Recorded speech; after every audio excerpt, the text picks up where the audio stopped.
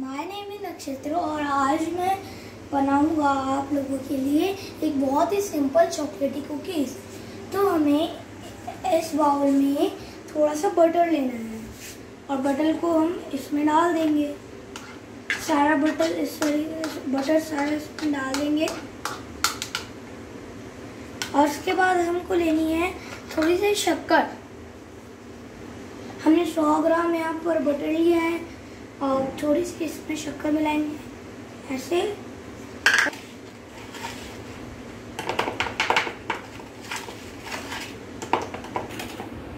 दोस्तों, हमको इसको फ्लफी बनाना है ना, इसलिए इसे धीरे धीरे ऐसे ऐसे घुमाएँगे। अगर आप चाहें तो थोड़ा सा फास्ट भी घुमा सकते हैं, पर थोड़ा सा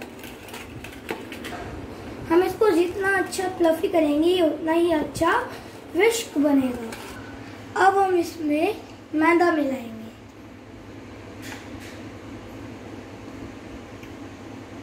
इसको मैदा में मिला, मैदा इसमें मिला लिया है। अब हम बेकिंग पाउडर टी वाले चम्मच से बेकिंग पाउडर थोड़ा सा मिलाएँगे। फ्रेंड हम चॉकलेट कुकीज़ बना रहे इसलिए हम इसमें दो चम्मच टी स्पून से कोको पाउडर डालेंगे। पहले एक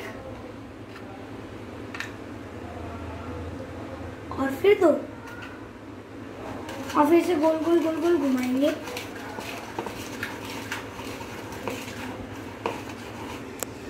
अब हम इसको हाथ से मिलाकर एक डो बनाएँगे।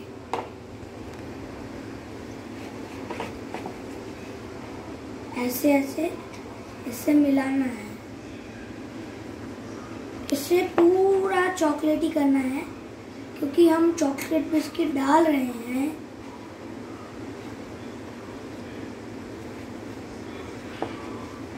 ऐसे फिर यहाँ से सारे मैदे को इधर ले सकते हैं। और यहाँ फिर यहाँ से थोड़ा सा ले लेंगे। हमने अपनी चॉकलेट कुकीज़ का ये डो बना लिया है तो अब हम इसको हाफ़ एन आवर के लिए फ्रीज में रखेंगे और उसके बाद निकाल देंगे देखिए दोस्तों, ये कितने अच्छे से सेट हो गया है। तो अब हम इसकी जो बेकिंग ट्रे है, इसमें थोड़ा सा बटर लगाएँगे ताकि वो चिपके ना। हमें इसे हाथ से यूँ करना है। हाथ से इसे फैलाना है। पूरी जगह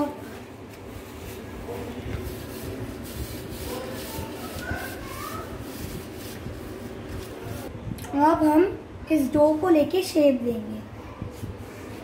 आप हम हम तो मैं तो नॉर्मल शेप का ही बना रहा हूँ। इसको पहले रोल करेंगे और हम इसको गैप से रखेंगे ताकि, क्योंकि हमको इसको इसको हम चॉकलेट इसमें डिप कर देंगे। थोड़ी सी ज़्यादा आ गई है तो हम इसे निकाल देंगे और अब इस, इसके अंदर कर ऐसे ऐसे ऐसे। फिर यहाँ। दोस्तों, हमारी कुकीज़ कितने अच्छे से दिख रही है और इसका शेप भी अच्छा आ गया है। अब हम इसको 15 मिनट्स के लिए माइक्रोवेव में रख देंगे।